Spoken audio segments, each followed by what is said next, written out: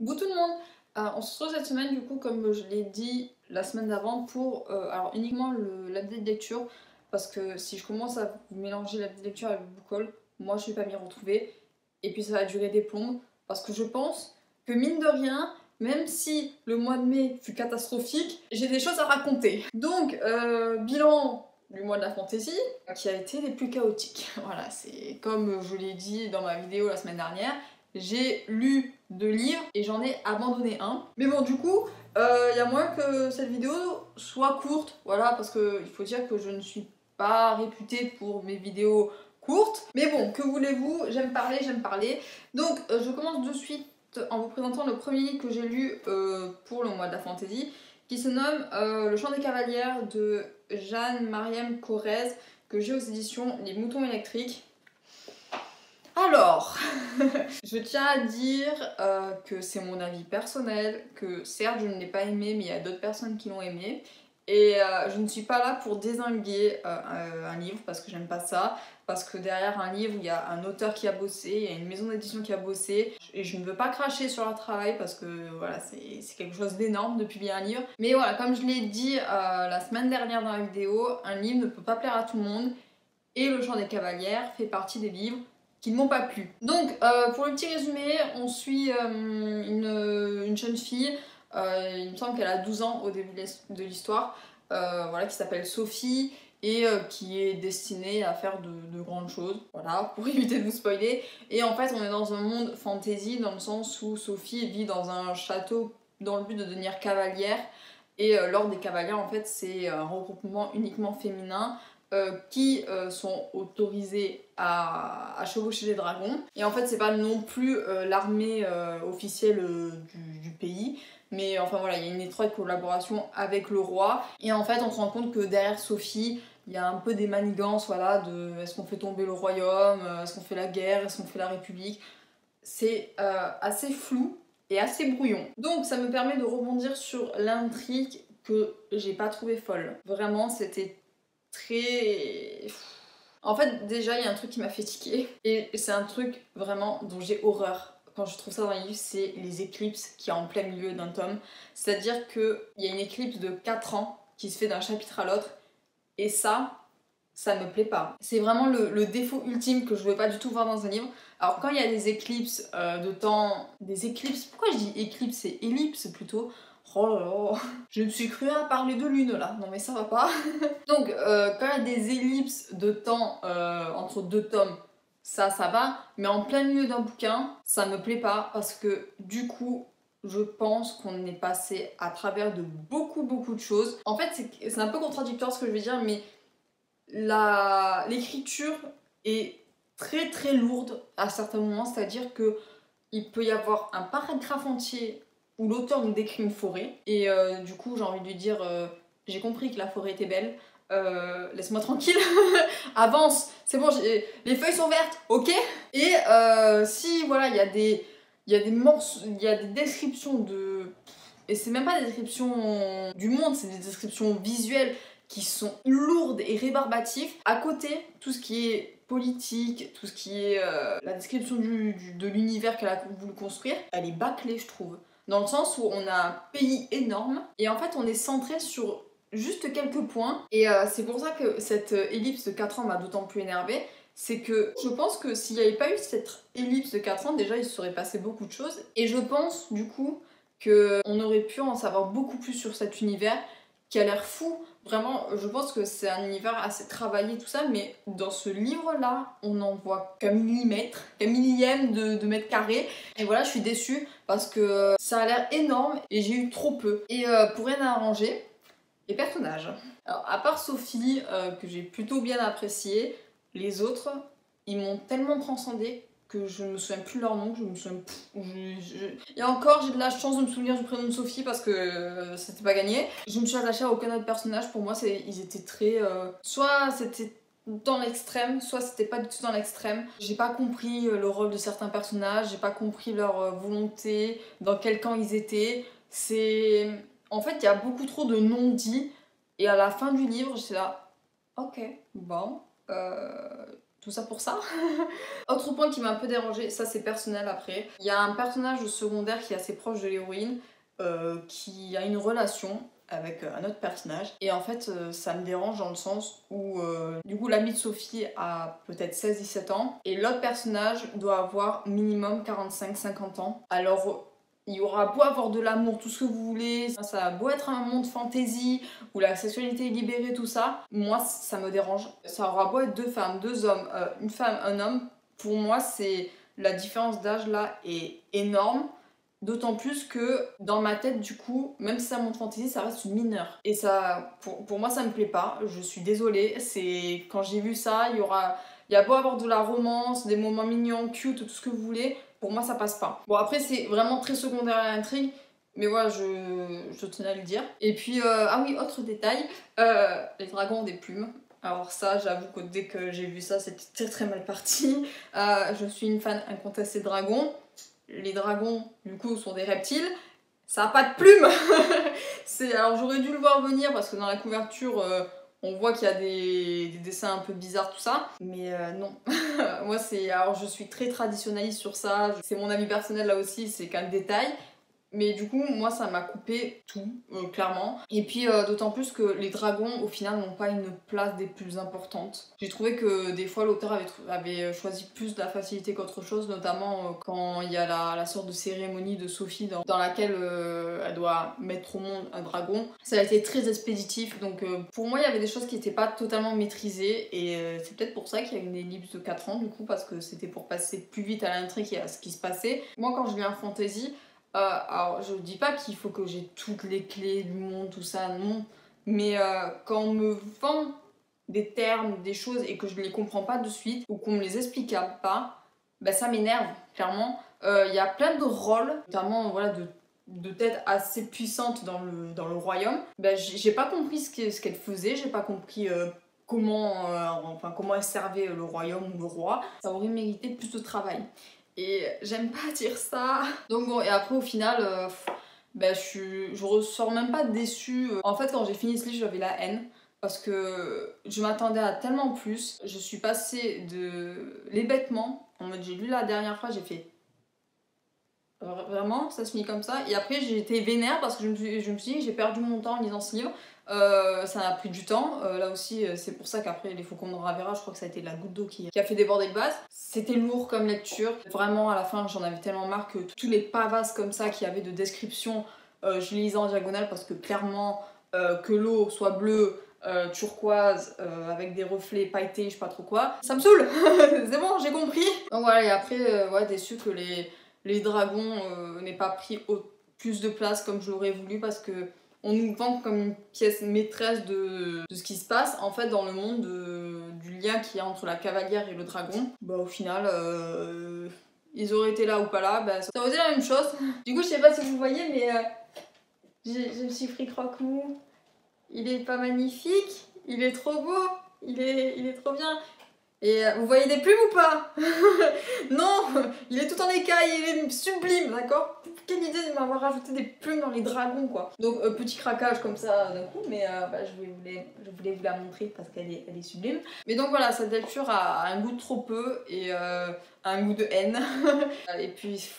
Je, je sais même pas pourquoi je suis étonnée parce que ça faisait partie de mes achats impulsifs influencé euh, pour ma part de, la fantasy. Donc euh, je crois que, bon, clairement, l'erreur vient de moi. Mais bon, je, pensais, je pensais que ça allait me plaire, et ben non. Tant pis. Ensuite, euh, j'ai lu, et heureusement que je l'ai lu.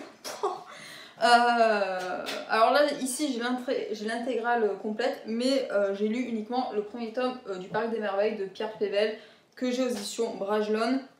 Quel bonheur cette lecture Heureusement qu'elle euh, était là pour sauver euh, mon mois de mai, hein, parce que si j'avais euh, enchaîné direct avec les faucons de Ravera, je, crois que je serais six pieds sous terre. Donc, le Paris des Merveilles, pour vous résumer, ça se passe dans le Paris de 1909, il me semble, où voilà, le, le, monde a un lien avec, alors je sais plus comment il s'appelle, mais un monde féerique où il y a de la magie. Donc voilà, et euh, les, peuples se vivent euh, en, harmonie quelque part. Et dans ce monde-là, on suit du coup Louis qui est un mage et qui va se retrouver embrigadé dans une enquête policière. Et cette enquête va le ramener euh, peu à peu à collaborer avec Isabelle. Et ces deux-là, ben, ils, se connaissent, voilà, il, se passe des choses entre eux. Et c'est tellement bien, c'est tellement bien foutu. Oh, je suis in love. Je pense que je, jugerai la saga en entière une fois que j'aurai tout fini. Mais le tome 1 est à, est à ça un coup de cœur. C'est... Heureusement qu'il était là. Donc j'ai tout aimé beaucoup trop, j'ai tout aimé. Euh, que ce soit l'écriture de l'auteur, vraiment, j'ai adoré la plume de Pierre Pével. En fait, c'est le genre de narration où euh, le narrateur va parler au lecteur. Alors, il n'est pas intrusif, euh, voilà, il, parle pas tout le temps au lecteur. Mais voilà, il, fait quelques vannes, des fois, il, fait, il rappelle quelques points importants, des fois, enfin, voilà, il, est trop bien. J'ai adoré euh, ce genre de narration euh, parce que d'habitude, c'est vrai que quand le narrateur parle beaucoup, beaucoup au lecteur, moi ça me, ça me ça me saoule parce que du coup, j'ai envie de lui dire euh, je suis pas stupide, c'est bon, je, lis, je suis. Mais là, c'est toujours une pointe d'humour en fait qu'il a et c'est trop bien. Vraiment, j'ai adoré la plume. Et ça va tellement bien en plus avec les personnages de Louis et Isabelle qui sont les personnages principaux, mais même les personnages secondaires sont énorme. Enfin, ils sont tellement bien. Et puis, il y a une diversité du coup. Euh, il y a des fées, il y a des. C'est pas des nains, c'est des gobelins, je crois. Euh, il y a des elfes, il y a, y a plein de choses et c'est tellement bien parce que c'est à chaque recoin t'en apprends un peu plus et c'est merveilleux. Vraiment, voilà, c'est le mot. Le Paris des merveilles, il, porte tellement bien son nom. Donc voilà, je, je suis tombée, je, je suis en extase, voilà, de, devant cette saga. Euh, le tome 2 pour bientôt, vu que je l'ai mis dans ma palle garou Mais euh, voilà, je, je l'aime beaucoup, vraiment cet auteur. Euh. C'est le Paris des merveilles, mais je vais je vais être autant hypée que Patrick Rofus et, euh, et tout le tintouin là. Et c'est tellement bien. Je... Oh là là, c'était trop trop cool. Et puis l'intrigue. Alors c'est pas à casser à trois pattes un canard, hein, mais le fait que ça se passe du coup dans un monde fantastique où, euh, et où les, les, personnages font des choix qui peuvent être égoïstes ou qui peuvent être... Euh, voilà, c'est... Moi, il y a par exemple, il y a un passage où il y a Isabelle qui est confrontée à un choix et je, me suis dit, oh, elle va choisir pas la facilité, mais voilà, je. Et en fait, non! Et du coup, j'étais là, mais c'est trop bien, c'est tellement bien! Et donc, voilà, je suis vraiment très très contente. Euh, j'ai hâte de me plonger dans les prochains tomes parce que le premier tome, il est pépite, je, je, valide à 100%, euh, c'est tellement bien foutu et je suis tellement contente de découvrir enfin cet auteur, enfin cette histoire, parce que eh, ça fait depuis presque un an que j'ai dans ma palle et euh, comme quoi, euh, c'est bien. J'ai bien fait de le garder, j'ai bien fait de l'amener avec moi à Toulouse. Et, et puis voilà, c'est mon précieux, vous n'y toucherez pas. Donc bon, euh, très très contente encore une fois de ma lecture. Heureusement qu'elle était là, je me répète. Mais voilà, j'ai tout aimé. J'ai vraiment tout aimé. Et j'espère que du coup, le tome 2 et le tome 3 seront à la hauteur de mes attentes. Alors, ma dernière lecture, si on peut dire, euh, je vais vous parler du coup euh, brièvement euh, des Faucons de Ravera, le premier tome qui, est écrit par. attendez deux secondes. qui est écrit du coup par Melissa Caruso. Le premier tome se nomme La sorcière captive et je l'ai aux éditions Big Bang. Alors, je vais vraiment dire brièvement mon avis parce que vu que je n'ai pas fini, il n'est pas 100% légitime. Euh, je vais du coup vous dire euh, pourquoi je l'ai abandonné, tout simplement. Donc, euh, pour le petit résumé dans cette histoire, on suit. Je me souviens même plus des prénoms, vous voyez, ça m'a tellement. Hein. Donc, on suit le personnage de Amalia qui est héritière d'une comtesse et qui va se retrouver embrigadée dans, dans les faucons de Ravera, du coup. parce qu'elle aura arrêté une sorcière de feu euh, qui se nomme Zaira. Donc bon, euh, c'est beaucoup d'intrigues de cours, c'est beaucoup de euh, guerres politiques. et là où je me suis arrêtée, il y a voilà, les prémices d'une guerre en approche. Mais voilà, ça n'a pas suffi. Donc les points morts que j'ai qui ne m'ont pas fait aimer cette lecture sont premièrement les personnages. Je j'arrive pas en fait parce que du coup c'est une narration à la première personne. Et je pars du principe que si j'arrive pas à me mettre dans la peau du personnage principal, c'est cuit. Et du coup, bah, c'est ce qui s'est passé avec Amalia, dans le sens où je la trouve tellement naïve. Ce que j'avais peur, euh, voilà, au fur et à mesure de ma lecture, c'est que j'arrive pas à me, voir en elle parce que parce que c'est pas possible. Euh, moi, de mon point de vue, il y a plein de choses que j'aurais pas zardé alors qu'elle, elle subit. Moi, du coup, ça me freine énormément parce qu'il y a plein de problématiques que je trouve euh, qui ont été abordées que que bah, j'aurais réagi d'une manière différente et le fait que bah, l'héroïne ne réagisse pas de la même manière, ça m'énerve. Donc bon, et ça je pense que du coup c'est renforcé par la, narration à la première personne. Si ça avait été une narration à la troisième personne, je pense que ça ne m'aurait pas fait cet effet-là. Donc bon, outre le personnage principal que bah, du coup euh, j'ai trouvé un peu molle des fois, euh, elle essaye par moments de euh, voilà, dire non mais c'est moi qui fais les choses, tout ça, mais de suite, c'est euh, on lui coupe l'herbe sous le pied. Euh. Après, c'est un premier tome, du coup, je pense que euh, sa mentalité, son expérience fait qu'elle va beaucoup évoluer au fur et à mesure. Mais moi, c'était beaucoup trop lent. Ensuite, pour les deux autres personnages, on a du coup la sorcière qui se nomme Zaira, qui est une, fausse badass.